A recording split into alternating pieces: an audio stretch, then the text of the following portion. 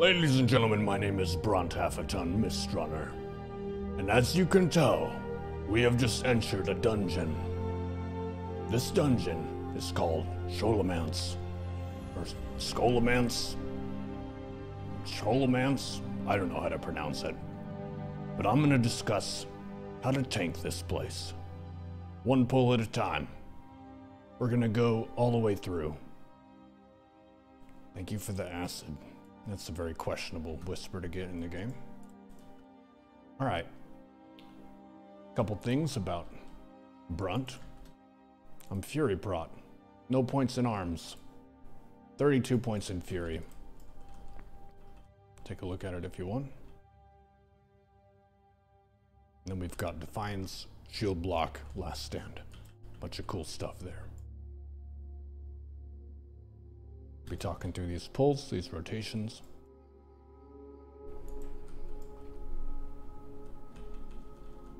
We've got nice damage meters here. I don't have very many add-ons. This one is called OmniCC. You can see the debuffs on enemies and stuff like that.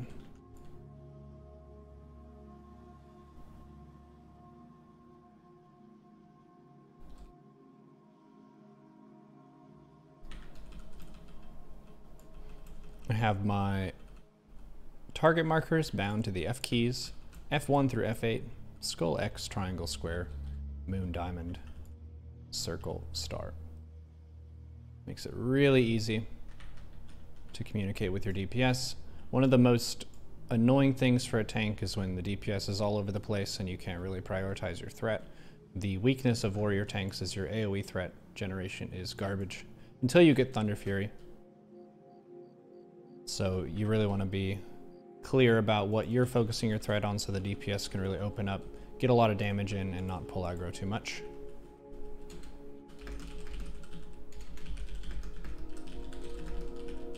So you just tell them that, and then they can usually do a lot better. We have two rogues, a priest, and a warlock, so we don't have a sheep or anything that's really easy CC. A pull like this you oftentimes have some caster units, so getting it around the corner means that everything gets stacked up really nice.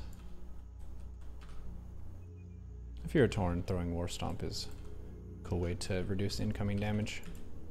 These ghostly ones are pretty annoying. Oftentimes you want to focus down the squishiest and most annoying mobs first. This dungeon has a lot of casters with a lot of weird effects kind of awkward to tank from melee. And the rooms are pretty densely packed with enemy units, so you want to be pretty careful here. Generally speaking, my recommendation for doing pulls is to start out pretty conservative and take it at an easy pace where you're watching the healer's mana between every pull and try to get a sense for what pace they can keep up. You don't want to pull too fast and make the healer panic and freak out and stuff and people die and it's a mess and you wipe and you have to ghost run back. So stability is usually the first priority that I go for with these pulls. Waiting until the healer has at least half mana is pretty legit.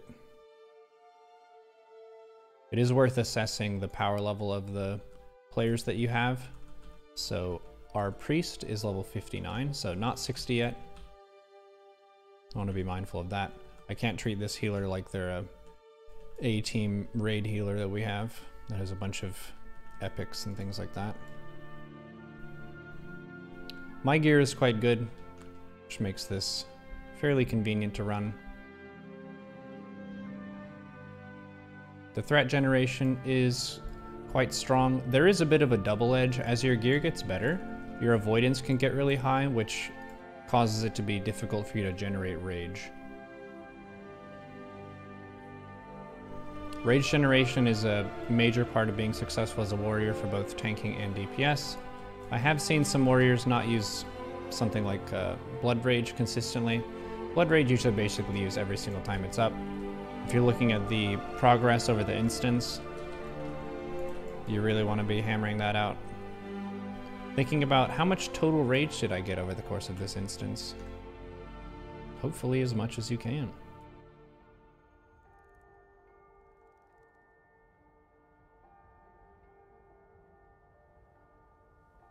Thank you for the host, Dark.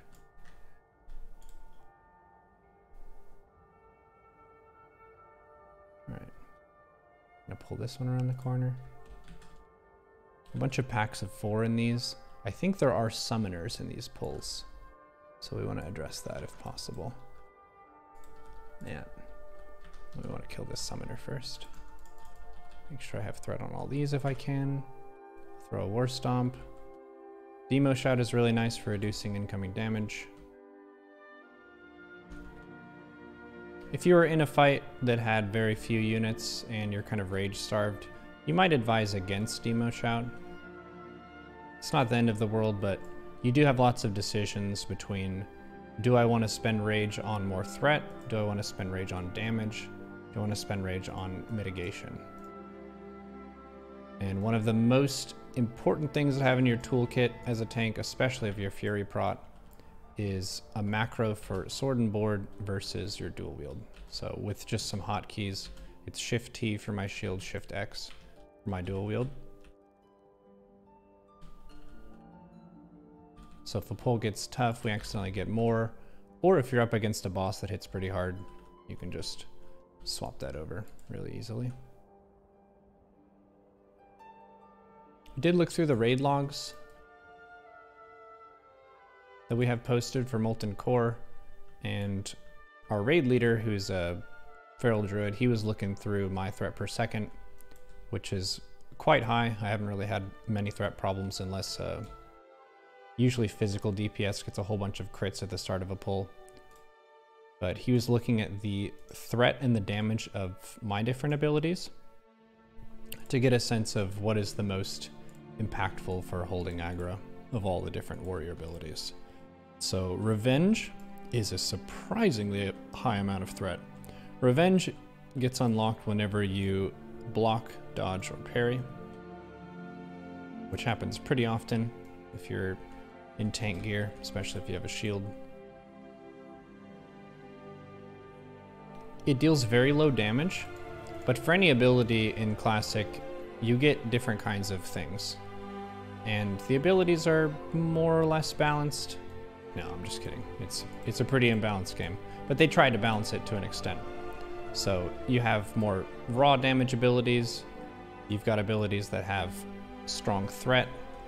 You've got abilities that are kind of a hybrid of the two. Sunder Armor is basically your go-to, just spammable threat skill.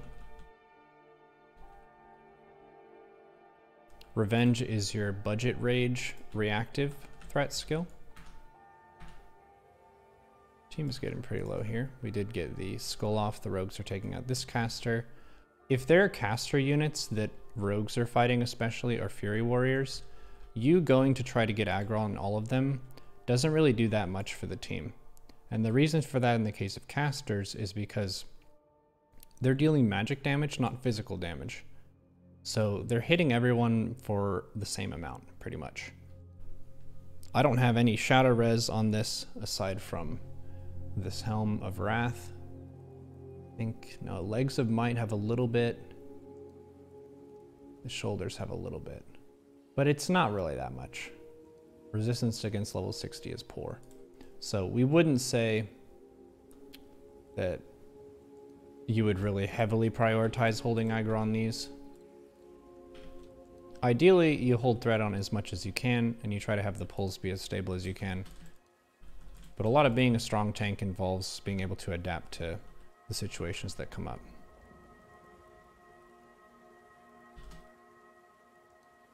One of the really interesting and tricky abilities that you have as Fury Prot is Death Wish.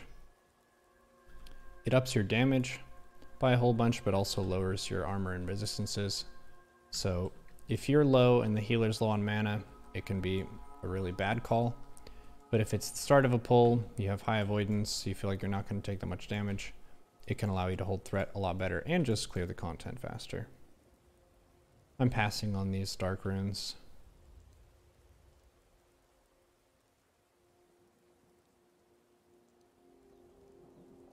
There is a little bit of a business side to being a tank that some people consider tanking is a role that kind of sucks at solo farming. So sometimes tanks will do stuff like reserve different kinds of drops. I don't usually do that. Sometimes I say it would be nice if you follow the stream, but doing something nice for somebody gives you a little bit of a sense of satisfaction as well.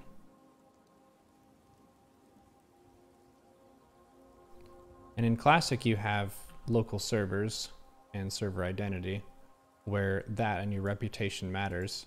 So if you do nice things for people, oftentimes they remember, and that can work in your favor later on.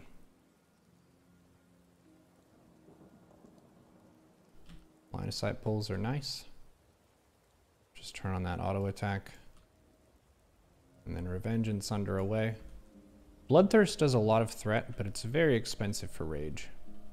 It ends up being a huge chunk of your total damage output as well. We've got the Tutor. Two other ones, Priestess at full mana. Blood Rage. Getting those Sunders. Looks like we got four. So I'm going to mark this with square by pressing F4.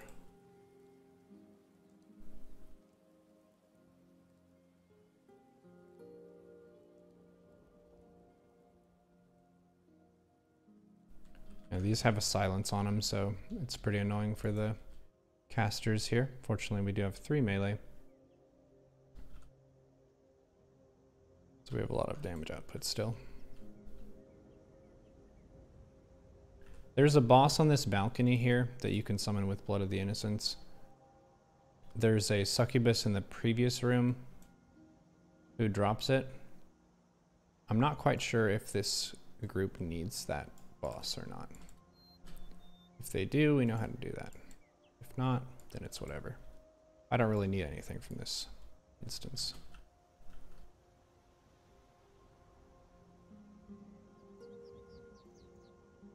One, two, three.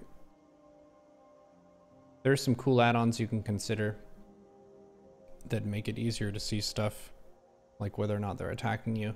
Personally, I'm very minimalist when it comes to add-ons. Like I just turn my nameplates on with Control V and I turn them off again. I kind of like the immersion of just looking at the action of what's happening.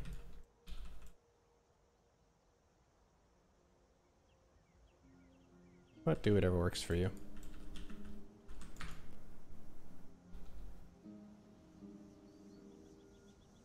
Rend is an interesting ability that you can mix in. It does up your DPS by a little bit. As Fury Prot, you're not spec'd into it. If you are Prot with Impale, like Shield Slam Impale, which is the spec that I was from what, level 53 through our first few Molten Core clears. If you're that spec, then Rend is pretty nice for its damage, but I have no extra points in it.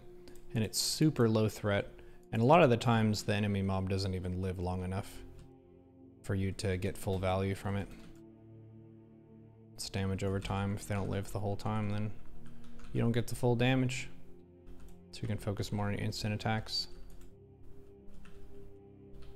Reminder to use Battle Shout consistently. Doesn't matter what spec you are as warrior, it's just a ton of attack power.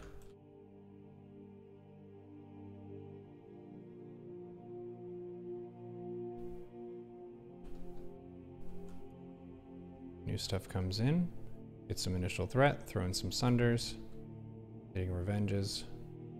I'm not worrying about stuff like Demo Shout for situations like this. Check the healer mana, and we need a little bit of a break. We have one rogue who is doing the lion's share of the damage. Let's see. What is this setup he's got? DM East, blue, green. Wow. Mirah's Song is good. Black Crow is really good. Hand of Justice is good. This is good. This is pretty, pretty prebis. Prebis is pre-raid best in slot, as they say.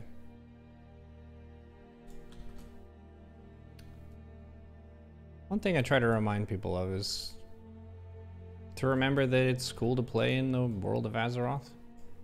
I was reflecting on Warcraft 3 to WoW. Like when WoW was first announced after Warcraft 3, how awesome it was that you would get to be a character in the same world as Thrall and Illidan, Maiev and Tyrande and Malfurion and all them. Now people get really focused on optimal specs, optimal gear, farming your consumables. Yeah, that's fun and that can be enjoyable and whatnot, but for some people it really removes a lot of the fun from the game.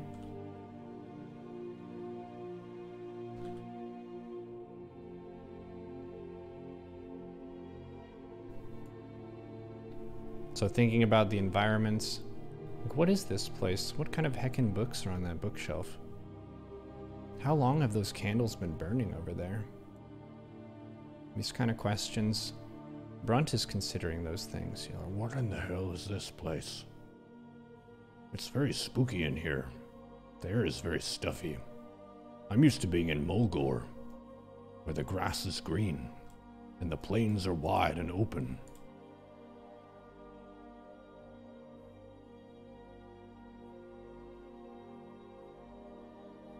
line of sight pull over and over again. If I wanted to squeeze a little bit more damage, I can sharpen my weapons. We don't have a shaman. If you're a horde, you want to make sure if there's a shaman in the group that you do not sharpen or weight your main hand because that prevents you from benefiting from Windfury. But in this case, we've got two rogues, a warlock, and a priest, so there's no Windfury to speak of. So let's do that. More threat, more damage. Faster clear. Let's get Sharpening Stone on Mirah's Song. My offhand. And then Weight Stone on Fist Weapon. I have no idea why the Fist Weapon with this claw requires a Weight Stone, but... We'll use whatever works. Remember to stock up on arrows before you go. Or bullets if you are using a gun.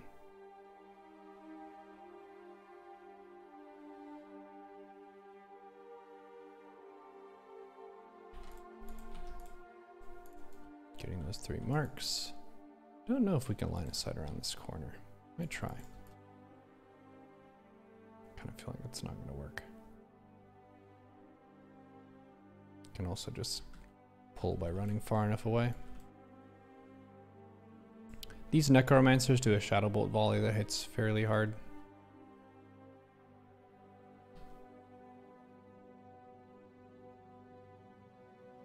When the group DPS is really high like this, sometimes you can just focus on the second kill rather than the first one.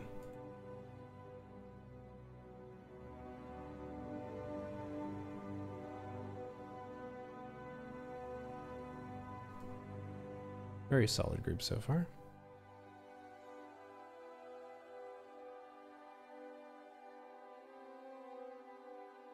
These casters are pretty annoying. If you kick them, they usually just switch schools.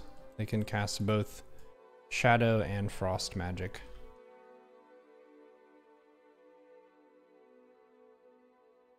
One, two, three. Did I just mark the small rat in the back? Silly. Shadow damage, curse. Not too bad.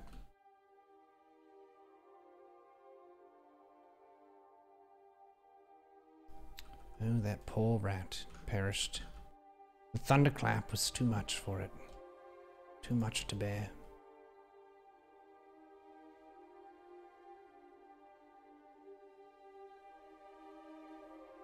I have a shield bash macro we could mix in. Basically what it does is it just equips the shield and then casts shield bash. But it's tough to shield bash when the target is dead.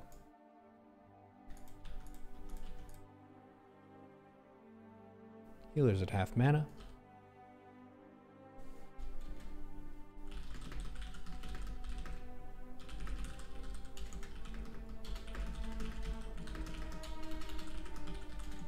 Shameless plug.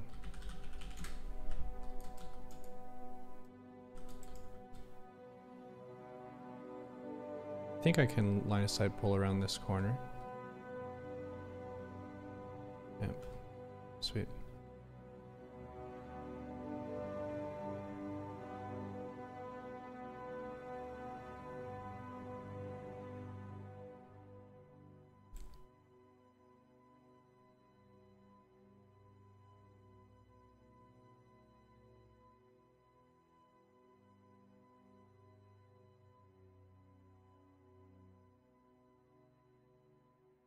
Awesome.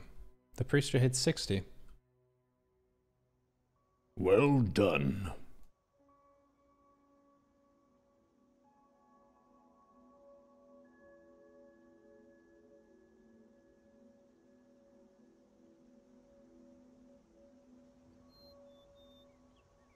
Arcane Resistance Cloak, that's going to come in handy in Moonkin duels. If you're doing against a Moonfire spam player, that's going to be the way to go. So we're going to be pulling through this room with a bunch of dragons. These ones, the handlers, deal a pretty strong knockback that hits you pretty far. There are some pits as well in this room. In these corners they can knock you down into, which is pretty bad news. So this is a room to be careful in. These dragons also do a spit that's at range. So you want a line of sight pull. Keep things nice and smooth. The dragons are non-elite, so typically you'll focus threat on the handlers. The warlock is taking a lot of damage because hellfire does damage to yourself.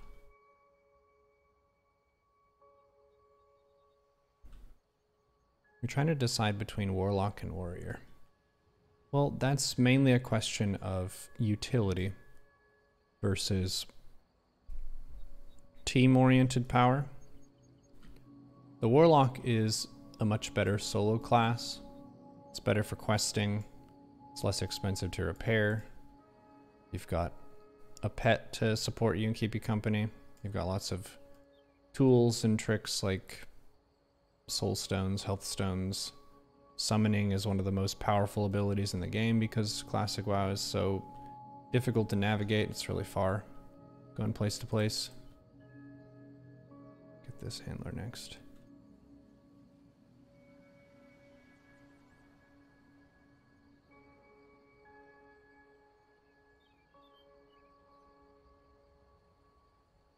My main characters over the course of WoW have been Night Elf Warrior was my first character back in vanilla.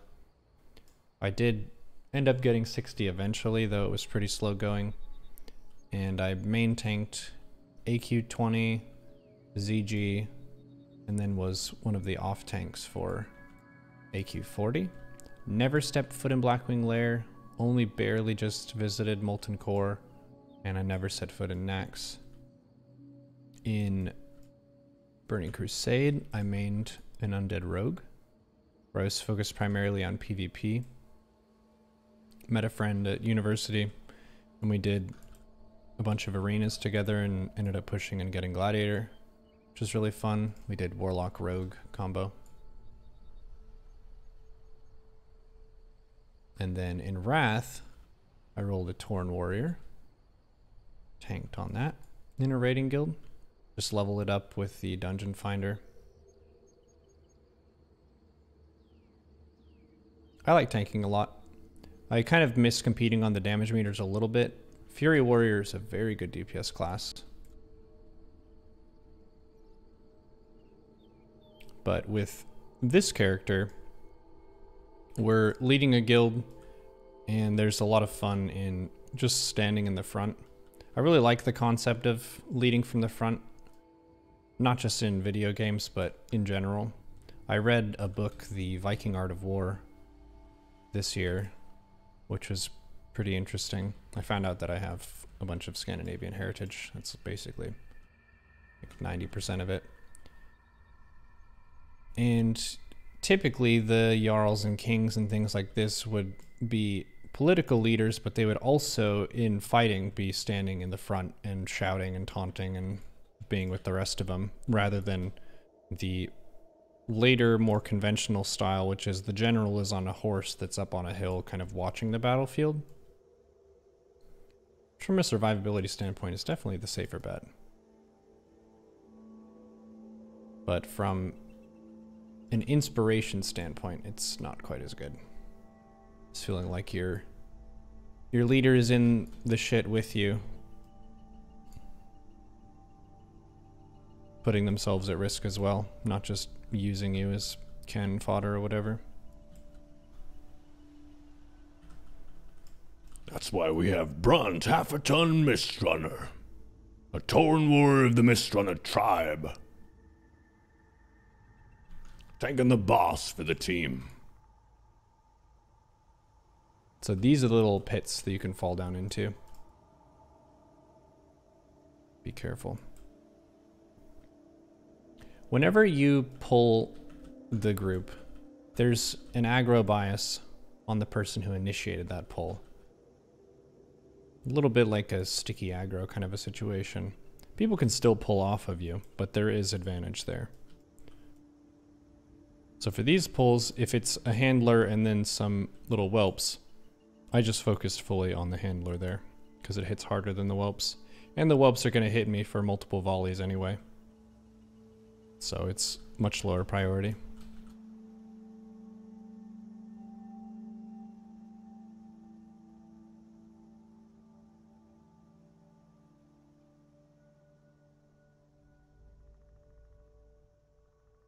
Mix in a death wish here too.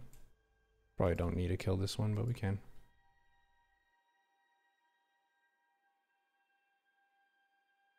Should probably use my Seal of the Dawn. Rune of the Guard Captain versus Mark of the Chosen. Which one is worth swapping out? Let's just do this one. Hit rating is really nice for dual wielding. Fury Prot is way more dependent on hit rating than Deep Prot or Deep Prot Impale. Reason being you're more reliant on your white hits. It's harder to hit with your offhand than it is with your main hand. So that's one of those big money stats. So we got two of them here. I think these do a cleave. So since I got the second one with the Sunder, I'm going to focus on the one that people are killing. And then now that it's about to die, I'm going to switch to the second one. Get a War Stomp. Can just pop Last Stand. These guys hit really hard. Probably recommend a shield if you're not really geared. If you are really geared, you probably don't need this guide. Interesting. Could even do cool stuff like bandage up this rogue. I wonder if are these constructs or undead? Because if they're undead, yeah, they're undead. You can cannibalize. Get this guy's face. Ah, I'm dead on the stairs. I was dead, but then I was undead, but now I'm dead again on the stairs. That's what he's thinking, probably. I think we thread the needle here. Think we can. Battle Shout is a decent bit of threat. It's not super high, but it's something. Okay, we did get an ad. These hit pretty hard, so let's go with the shield. Just make it easier on the healer. So we can throw in shield block. And because they're hitting pretty hard, I'll throw a demo shout. Use the health stone. Looks like they're focusing the boss, which is cool. Priest is kind of low, so we can just throw a shield wall. It's better to use your abilities than to just die with your cooldown still available. It's a resource, so should spend it. Not be overly conservative with it. Wow, all the stats on that one. Is this a druid item? Bear druid item? Classic WoW itemization is pretty funny.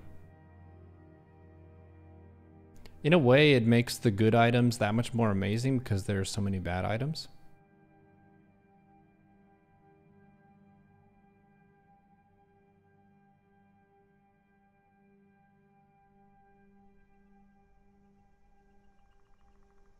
So we got that boss. Now there are two paths here. This one.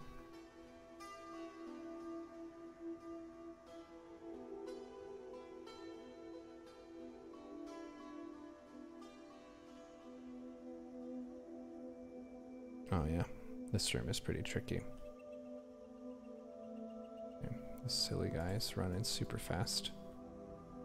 This um, Risen Aberration was a track star back in its day. Super fast individual in the world. Ooh, Scroll of Spirit. Here you go, priest. You feel very spiritual. We could use fort buffs. It's not that important. These ghouls give a big cloud of stinkiness when they die. So make sure you don't want to stand in that.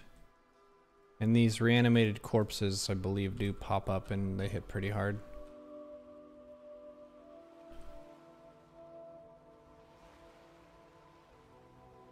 So if you can, I would also advise trying not to have those die right on the healers. Yep, those. Gonna have to. Gonna have to back up from that. Did we have a soul stone on the priest? That's the question here. Standing in the fire, it's tricky business.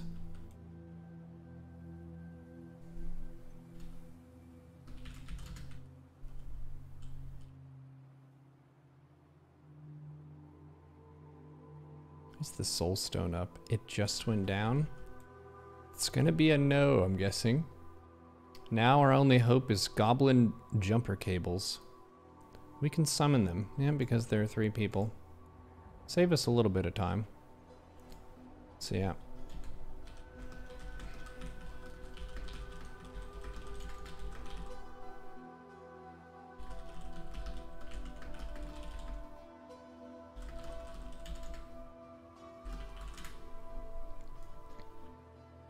This is a good opportunity to give the reminder of patience with the new team. This priest we actually had join the guild just today. And they were kind of hesitant because they're like, well, I'm still learning the game. Everyone learned a game at some point. You just don't start out playing a video game with a bunch of depth with total knowledge. You learn stuff as you go along. So having some patience and some compassion can go a really long way.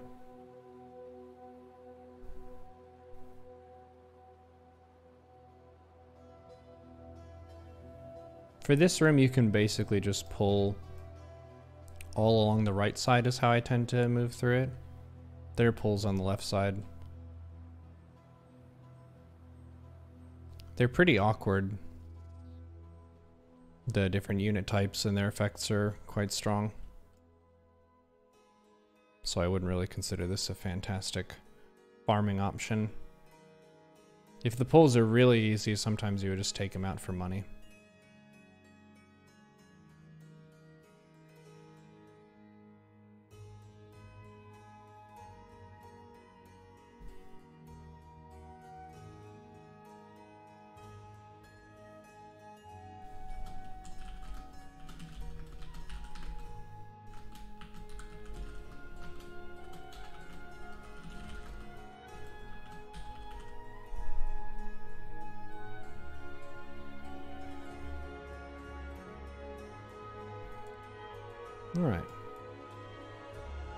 Priest is here.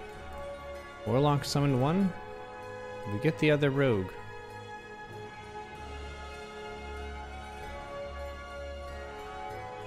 Yep.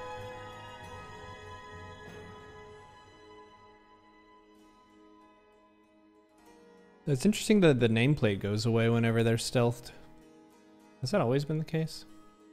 I can't see very well in this helmet. We did see that ghoul patrolling. We can get the ghoul individually. That makes things a little bit easier. Let's just shoot him. We got a track star as well. And a reanimated. Those go really slow. Okay, let's see if the rogue learned. Don't stand in the gross stuff. It's a disease. Nature damage inflicted. Not that big of a deal.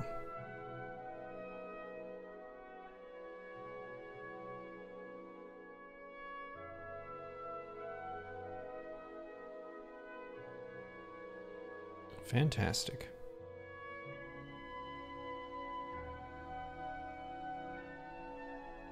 There's also a layer of preference too for how much you want to try to sneak past stuff versus clear the areas fully.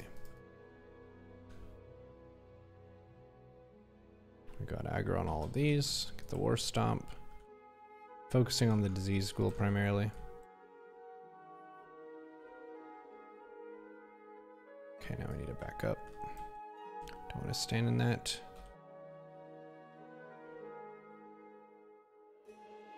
This is a rather common mechanic in the game.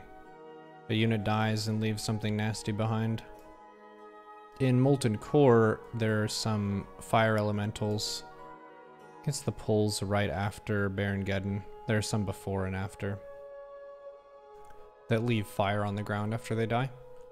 So this is a nice dungeon to get some practice of that mechanic. Get your silly mistakes out of the way. And Scholomance so you don't make a silly goose out of yourself in Molten Core.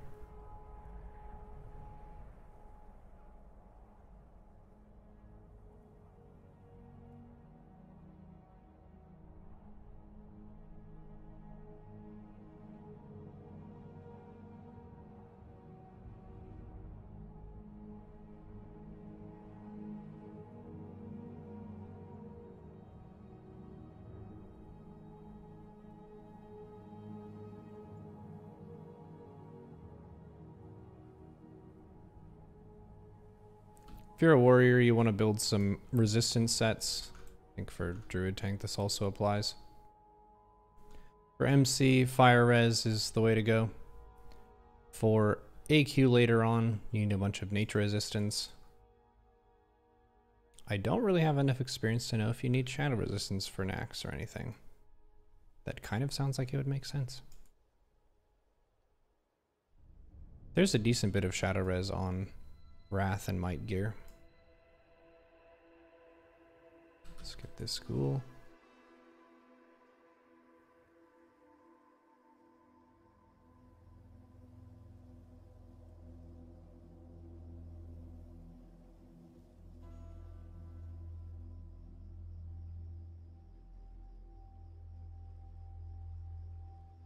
The radius on that isn't too bad. Let's see, how big is this? Looks like it's about the same as the visual. There are a lot of effects in games where the actual effective radius is different than the visual. That one seems about on par, which is nice. Priest is kind of low on mana. Hopefully they have water. I don't actually know. Oh boy. Priest is getting hit by something.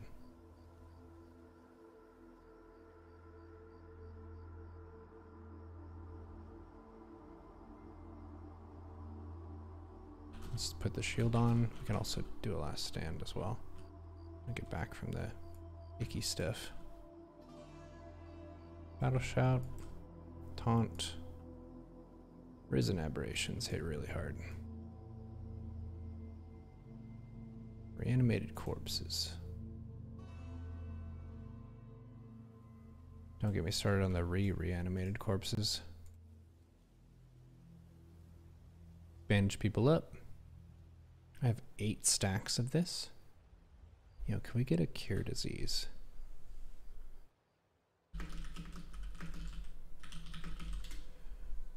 And we ask nicely for stuff. Because being polite is a strong move. You don't have to be polite. It's a pretty it's a pretty thick disease. We've got abolished disease. Once every five seconds. I'm very diseased right now.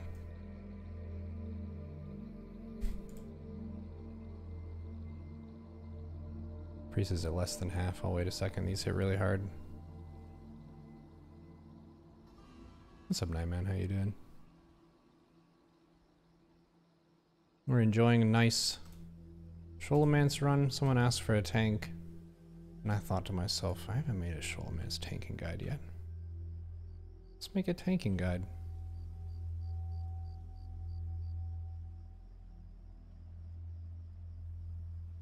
This is a good instance for it, I think. The poles here are pretty awkward.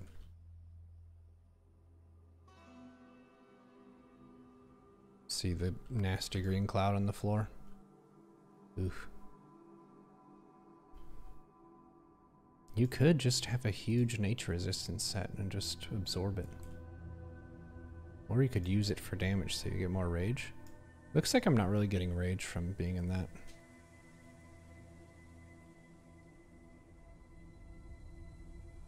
Can you get infected with the politeness disease? Sure. But only if you ask nicely.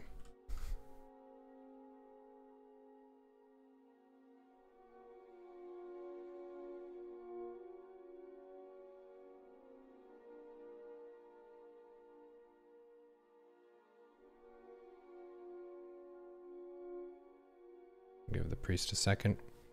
A fresh 60. I wonder if they remember to put in their talent point. That's something I'll forget sometimes.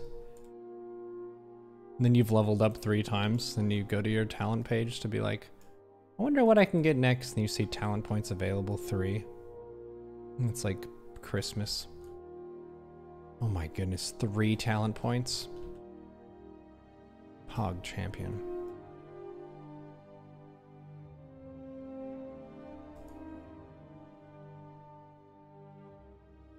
Like the animation of Crusader Enchant has those two swords that pop up over your head. Don't stand in the gross.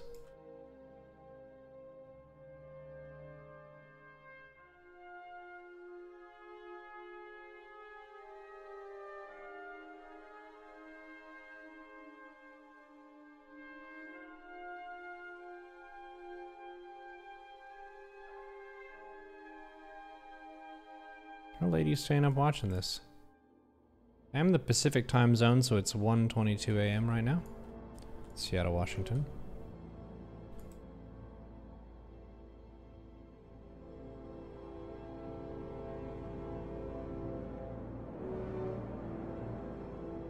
The beautiful thing about online gaming is it is an international endeavor. People from all around the world playing games, watching streams, streaming games. Have someone in their house who's watching someone stream games. Opening up someone's stream to find out where they are to kill them in the game. Got all kinds of stuff. I've only been camped from stream sniping one time. I guess it's kind of a perk of being primarily a, a raider and also in a guild. If you're in a guild, people can give you some backup if you're being hassled unnecessarily. It happened to me when I was in the classic beta. Because the invites were pretty slim, so we didn't have a guild or anything. And there was a person in the Twitch chat who was taking a bunch of issue with me. They were saying that they didn't believe that I was actually Gladiator in BC. And they thought I was bad and all this other kind of stuff. And I was like, what? You have no evidence either way. I mean, I don't know everything about all of the BC lore, but you don't have to to get Gladiator. You just have to be one of the best 2v2 teams. So you have to know how to work with your teammate and beat the other teams. Oh, this is exciting. Bunch of illusions and stuff. These don't really hit for much damage. It's just confusing. If You find which one it is. I think you can do this. Oh yeah. The one with the dots is probably it. Thinking with our head here. Thanks, Warlock. Those are really nice. Parry is a really good mitigation stat. The armor on these are pretty high. There's no strength or anything, so they're not threat pants, but they're really good mitigation pants. If you're a fresh 60 or close to 60, that would be a rather nice item. As it stands, I have the legs of might, so I don't need those.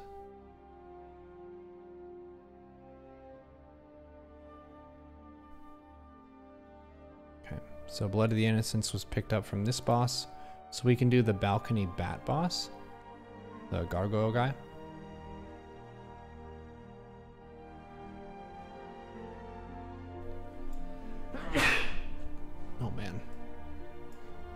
You ever sneeze and then accidentally auto run into a bad situation?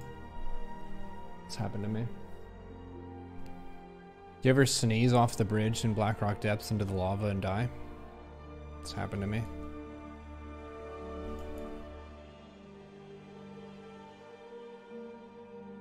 Gotta micro your sneezes and time them correctly. Mainly stream StarCraft, you've really gotta practice your sneeze timing.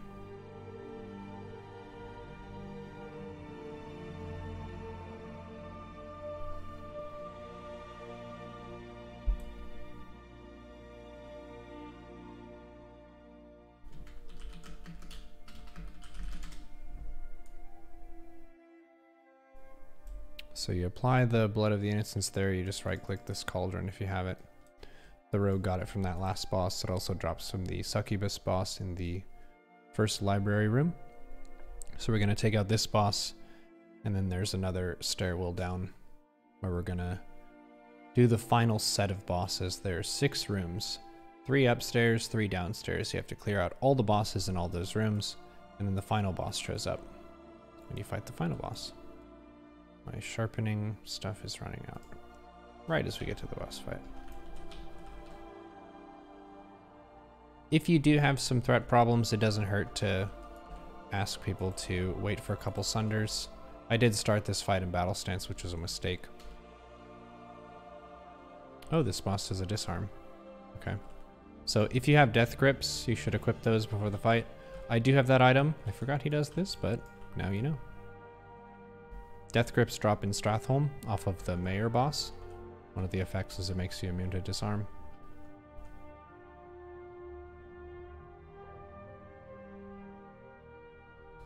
Put my shield on shield block. Priest is out of mana, as we can see. Well, we're good. Those are actually quite good as well. Hit rating Agi boots, mail. I might even take those for a DPS set. Because my boots have no attack stats on them at all. And we have no one else in the party who can use mail. So let's take those for DPS. And we rolled a big one.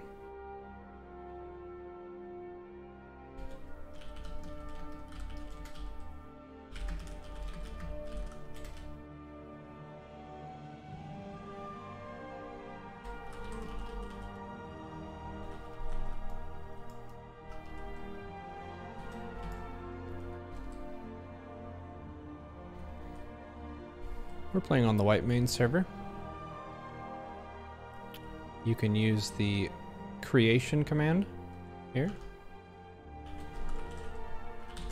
This has a guild manifesto, basically what we're about. We have a bunch of solid, respectful players. Some people are veterans of WoW. They played for a long time. They know this game inside and out. Some of them have done some high level Other people are brand new to the game. Do we have a key? Key.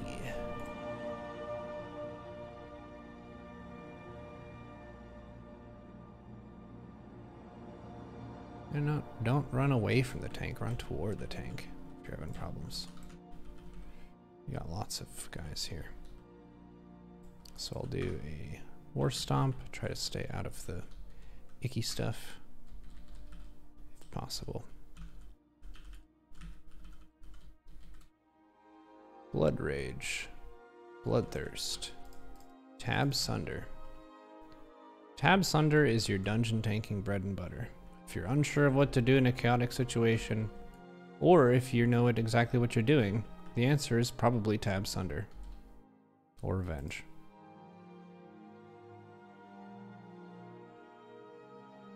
If you're in deep prot, you oftentimes have improved Sunder armor, which makes it even better.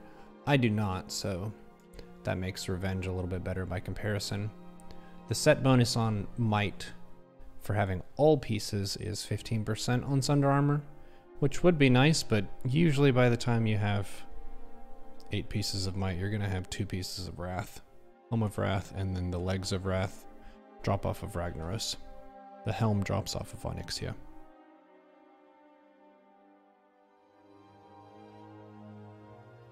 Waiting on the healer mana. These pulls are relatively rough. There's one here too. And we got him. Blood Rage. Battle Shout to get some initial threat. Sunder for the diseased ghoul. And the other guys walk really slow, so pulling them back is nice because you're not receiving very much damage while you're taking out this first ghoul. I'll focus on the reanimated. Huge Bloodthirst crit. Bloodthirst is an interesting ability because it's based on attack power, not weapon damage. No, no, Marlac. You're standing in the green stuff. You can't stand in the green stuff. You'll die and turn into an angel. He's back. He just bounced back from it. It wasn't even a mistake. He's probably just testing the soul stone to make sure it works. Wink. Never happened. it's gonna be an XD for me.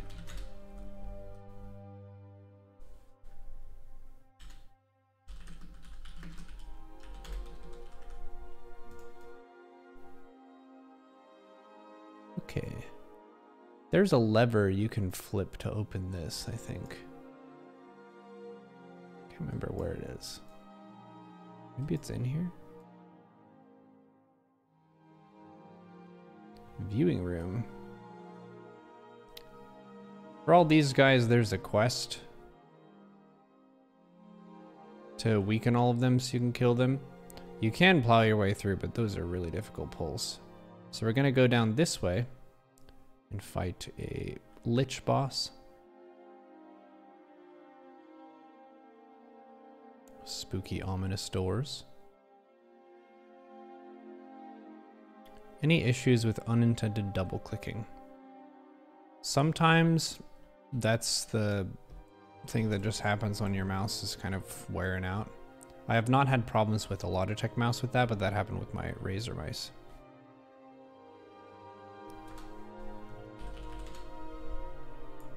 Make sure everyone's here.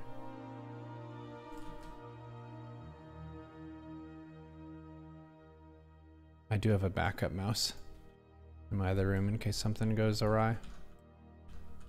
I have had that problem. It makes StarCraft 2 basically unplayable. This game you could probably play, but it wouldn't be as fun.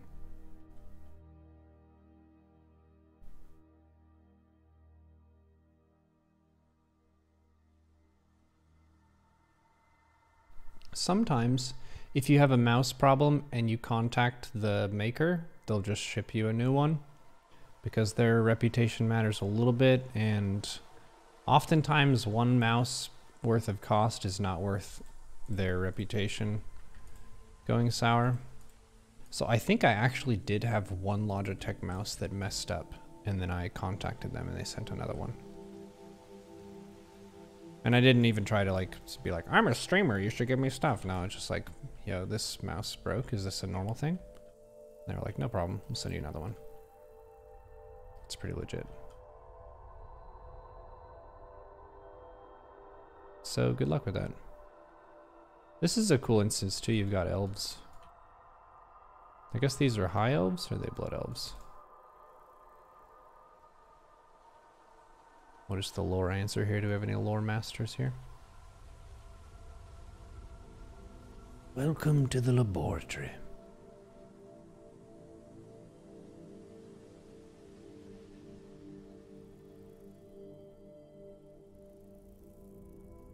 The lever is in that stupid room you killed not too long ago.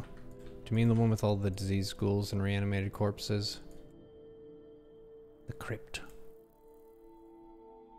With the illusion lady. That's good to know.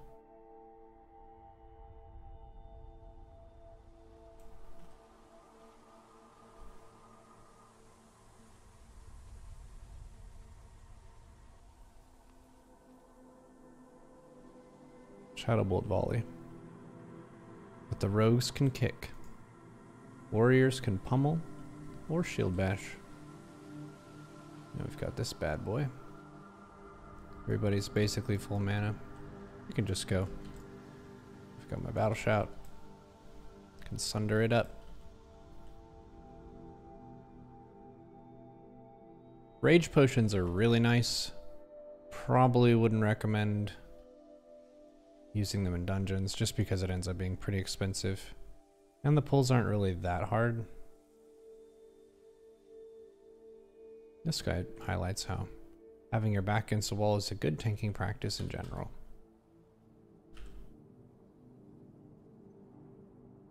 So he does cast fear on people. Fortunately, we have two undead and a warrior who can use Death Wish.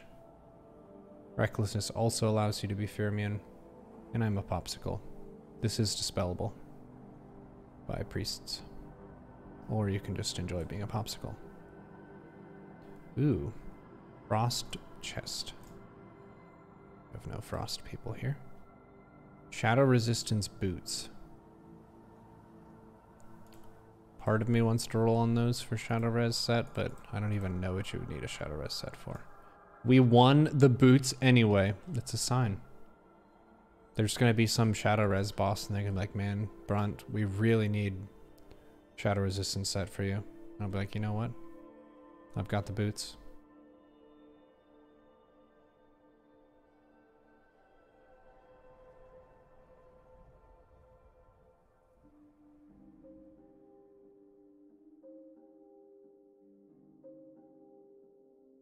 Okay, this is the final area. And by final, I mean we have to clear six rooms and another boss. Why did you drop off? I think it was an accident. This is the slow, splody zombie room.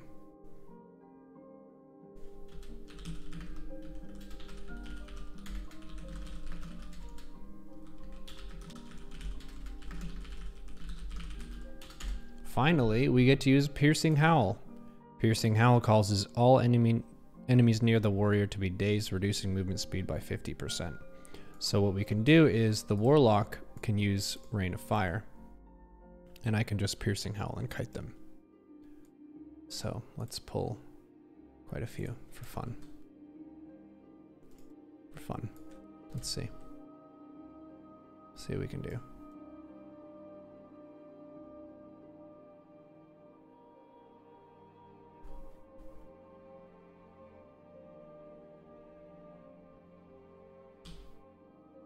Those rogues are gonna just explode. It's gonna be pretty funny. Just need to make sure the priest doesn't die.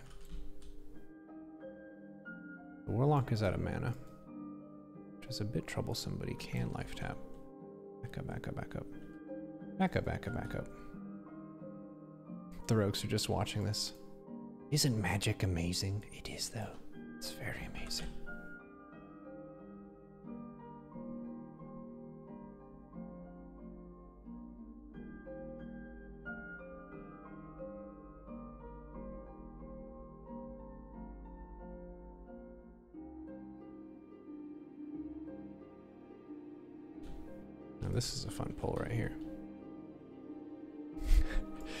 For your own runs, I probably wouldn't recommend this. Probably. If you want to, you can. Is it necessary? No. Is it responsible? No. Is it entertaining and exciting? Yes. This. Could shoot it with my bow. Shoot it with your gun. That's a reanimated one. Nice job. Nice job. Why did the rogue release? You don't need to release. We got a res. Oh ye of little faith.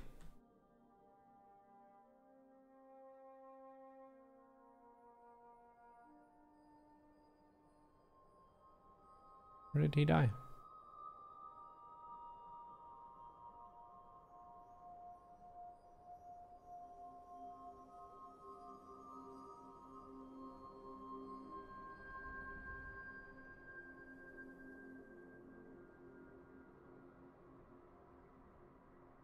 He's right here. When did he release? And the rogue here lies dead on the floor, weapon and bow in hand. He tried his best, but the zombies exploded. And with that, took his life. But there was a priest. The grunt Marlak. Recently level 60 priest. With a resurrection spell, brought Senior Sergeant Pestilence back to life. He's feeling refreshed. Intrigued at the overall experience of being dead again, but then alive once more.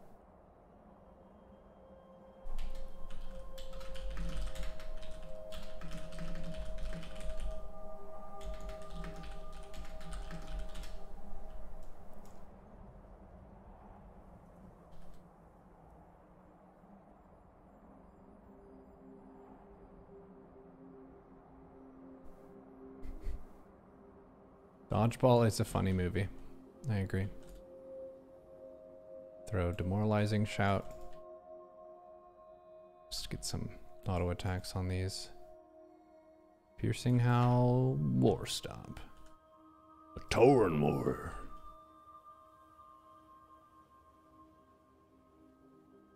Wonder exactly how much damage it is when they blow up. Kind of curious. Let's see. Kill this one and let it hit me. 675? It's nothing. How much HP does Brunt have? 5.7k? The Fort buff. Fantastic.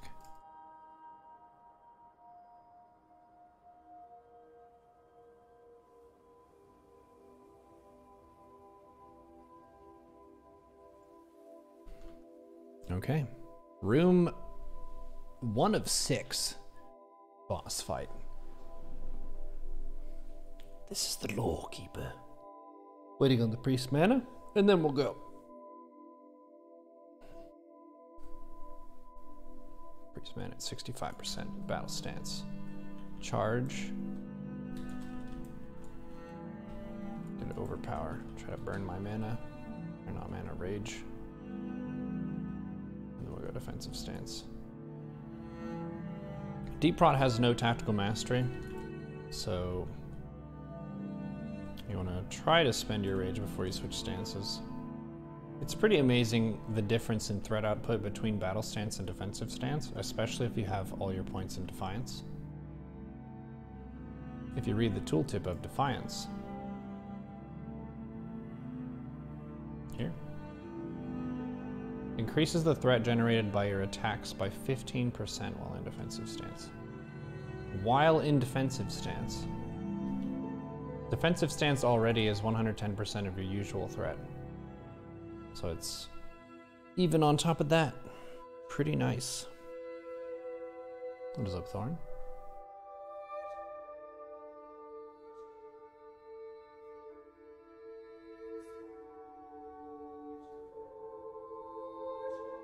Do we like the Skyrim music for this? I think it's pretty fun.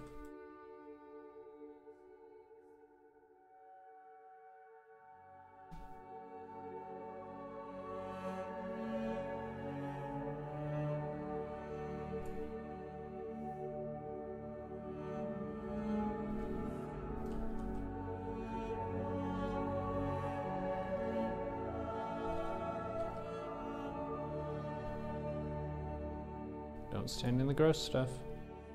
Oh no, Marlak, he's died. He stood in the gross stuff.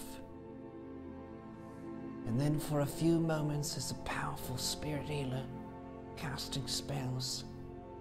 He fell into the stairs. His naughty bits exposed beneath the robe. The team looked away out of shame. Rip.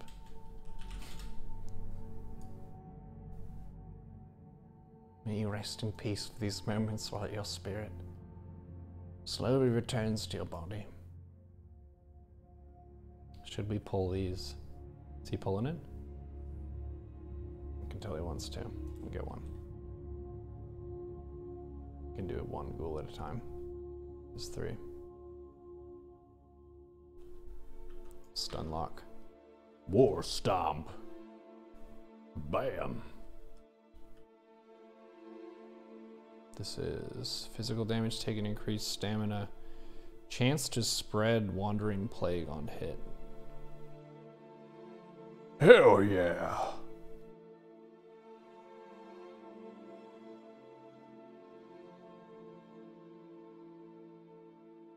Thank you for the support. Get some scourge stones.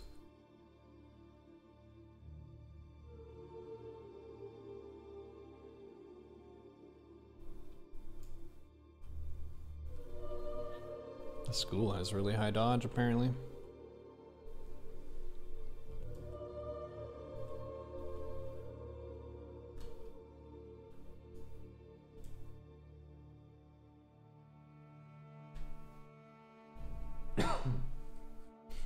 Excuse me.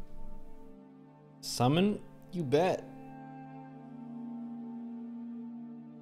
Warlock is a very convenient class. Lots of utility. Maybe not the most impressive on the damage meters, but is that the most important thing? Yes. it kind of depends. What's your goal? What gets you going in this game? Like some dips? Some DPS meters, that's your jam? Eh, probably not Warlock till phase 5. I think AQ40 has a bunch of Warlock gear to make him really shine.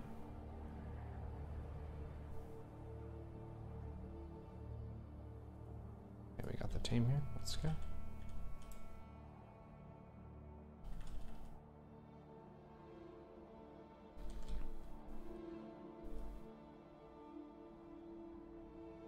That battle shot up. Nope, come back here, buddy. Back here. Oh, did he get the summon? Yeah, he did. Oh boy. This guy hits quite hard.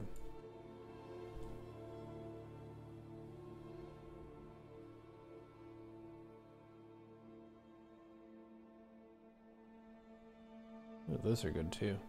9 strength, 9 agi, 1 hit. Versus, what were those other boots that I got? 20 agi. That's a crap ton of agi. We'll agree these. Shout out to anyone in the YouTube comments who says, Yo, you just rolled greed on BiS for DPS. As the main tank of the guild, I don't really change specs. I'm pretty much always tanking. There are a few rare scenarios where, say on Onyxia, during phase 3, an off tank gets threat before me, and then I'll DPS for it. But in the vast majority of cases, I'm not DPSing, and in those rare cases, combat is usually already initiated, so I don't really have the option to gear swap. That's my excuse for greeting on BiS right there. It is BiS though. Dreamer, it's actually BiS. Actually, just unfollowed and unsubscribed. I can't watch you do this.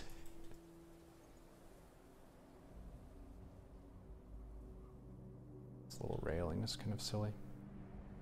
You would think that as a Tauren, you could shoot over it, but.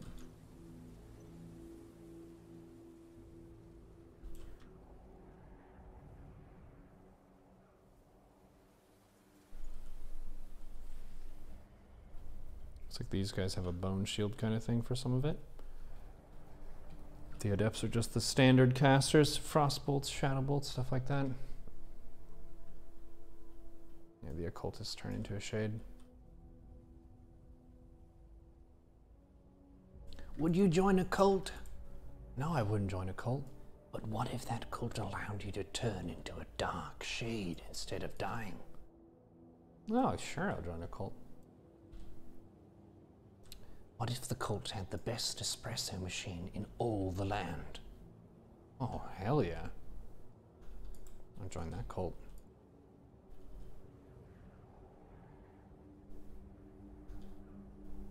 Wait, is it free? Yes, it's included. And what? Uh-oh. Those shade things are physical immune, so yeah. Gotta wait for the warlock to kill it, but he's out of mana. The struggles. You can't jump over this. No, you can. Do the run and jump. It's only a pull.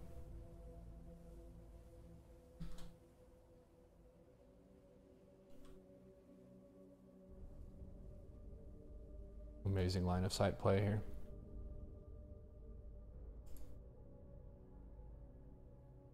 Huge Tauren hiding behind a tomb, just acting natural.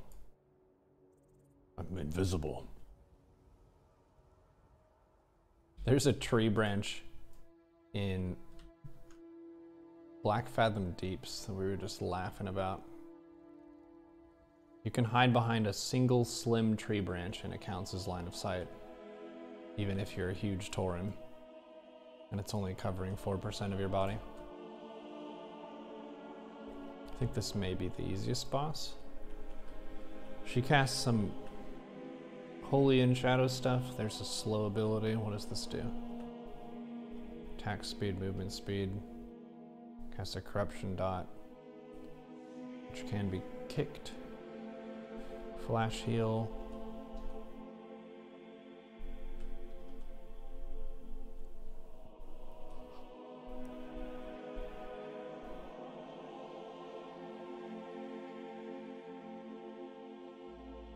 Shadowcraft bracers.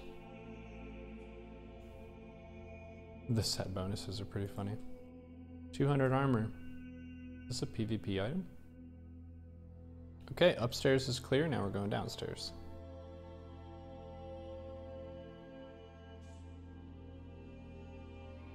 Make sure everyone's present and accounted for. I see rogue, priest, warlock. We're good. Two sunders on this guy.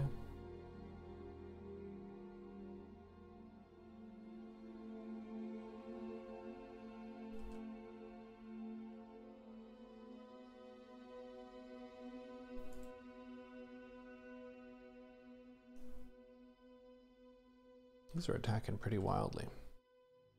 Wait for a second, the priest is at zero mana. Ah, yes, the joys of just hitting level 60.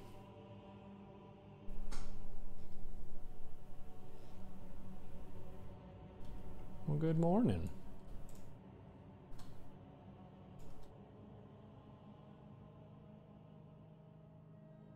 The bow that I have is from DM East. It has hit rating on it. I'm pretty sure whether you're Fury or Prot, or Fury Prot, or Arms, or a Rogue, hit rating is the way to go. Your ranged item slot. Whenever you get into the raids, like Molten Core, a lot of stuff, even the trash, is level 61 to 63. Which means you're gonna miss a bunch, you're gonna have dodge parry blocks happen, you're gonna get a bunch of glancing blows. Means less rage generation, less DPS.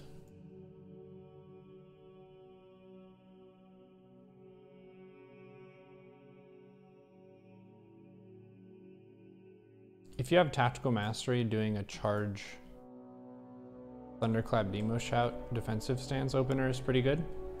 With Fury Prot, it seemed pretty crap Just because you dump all your rage whenever you swap. And if you're spending your high threat abilities when you're in battle stance, you're not really getting full value for the rage because you're missing out on defiance.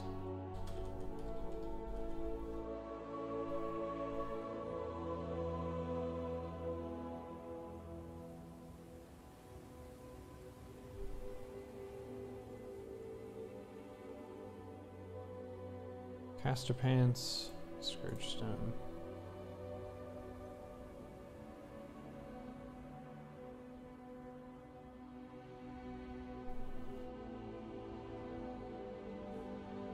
This boss hits heckin' hard. So do these skeletons. We do have a priest who could shackle. Undead tend to be fear immune most of the time, so you probably can't intimidating shout. If I had to take a wild guess. If I didn't have to take a wild guess, I would still probably think you can't fear these.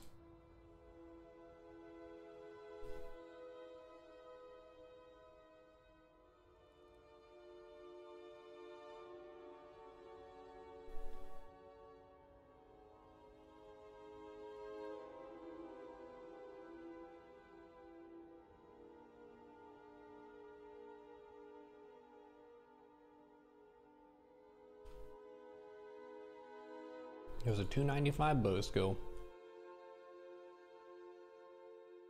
Always kind of satisfying when you get a really big bow crit to start off a pull. If I have all my raid buffs and stuff, sometimes I'll get a 220 or so crit with the bow. Like a boss.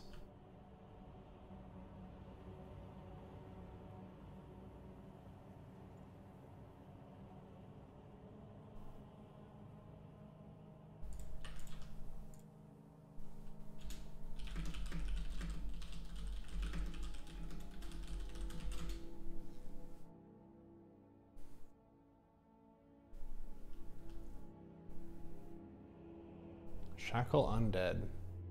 One of those spells you don't really get to use very often. But when you use it, it can be amazing.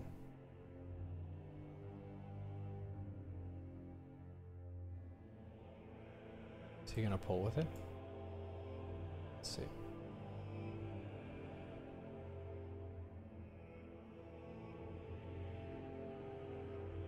I don't know if he understood what I meant. Maybe quickly paging through the spell book. He got it. He got it. Oh no. The Rogue's Blade Flurry broke it. How exciting. I've got Shield Wall up. Absorbing lots of damage. I don't know if I can disarm. Let's see. Let's make sure we got threat on these guys. Last stand. More HP. Priest is very low.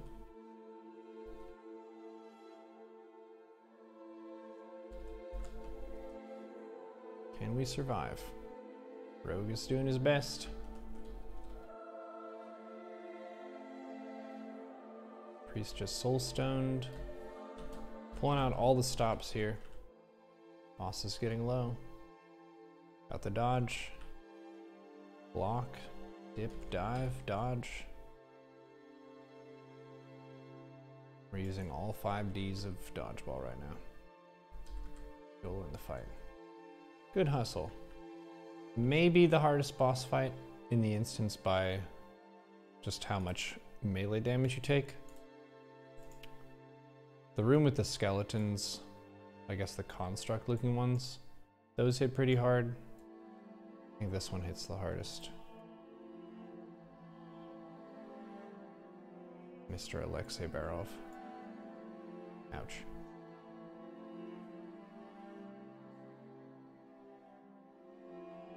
Just getting the res up. No wipes so far, we've had some deaths. Trollmance has a few tricks.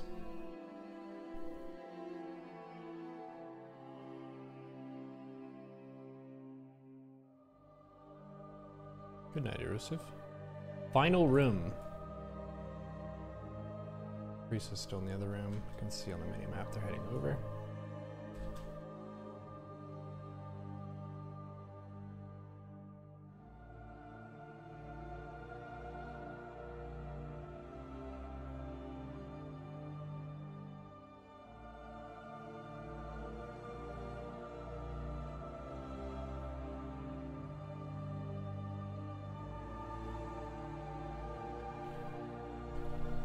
Battle shout stays up. Risen Bone Warders. Oh my goodness. Bam. Do they have casted abilities? No, they just run up to you. I Guess you don't have to line of pull these.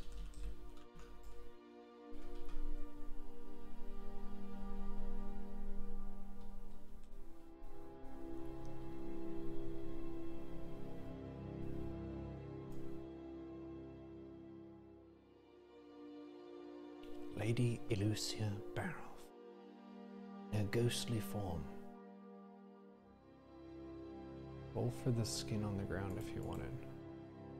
What's that? Skin on the ground.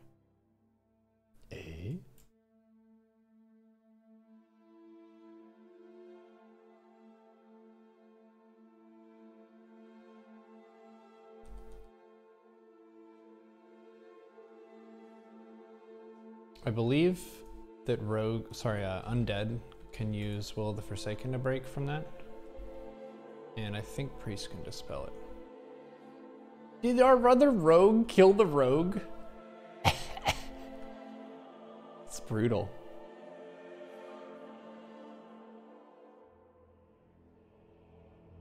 What skin is this? I don't even know what he's talking about. What are you talking about, dude? Oh, Skin of Shadow. Oh. 31. Is it gonna be enough? 52. I roll so far. Okay, there's the boss. No, no, no, no, no! Can we get a res up? Can we get a res on this poor rogue? This poor man who's dead on the stairs.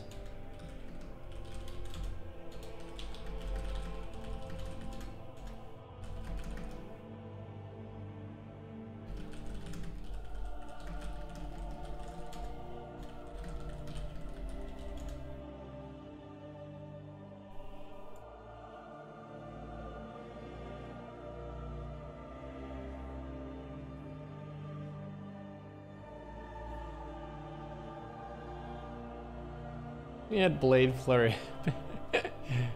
Brutal. We'll try another res. Is he moving?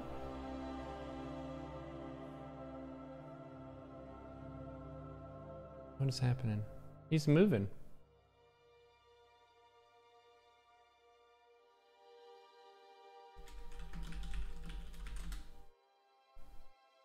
It's a very technical problem we're having right now. We are experiencing some difficulties with your resurrection spell. Didn't get it. Hello? Yes, this is resurrection. Yes, we're trying to bring you back to life here. Yes. Yeah, sorry, you got mind controlled and the other rogue had blade you up and he just straight up killed you. Boom. Fully healed. And we are in last boss territory now. Oh my god, is he wearing a Santa hat for the holiday event? He is! Who knew that this was a thing? I didn't know. Did you know? He's wearing a green Santa hat. Incredible. Oh, the priest is running out. Establishing dominance in the situation. Wait, should a healer be doing that? Doesn't matter.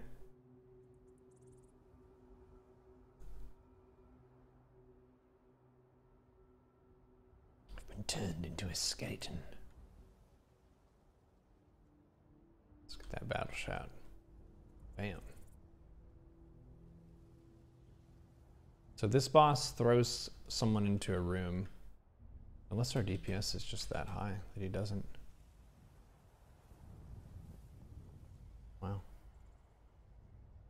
Usually, he throws a person into the room and then closes the door. Green winter hat. Robe of the Void pattern. Class is Warlock. Nice. Okay. Well, that's basically it.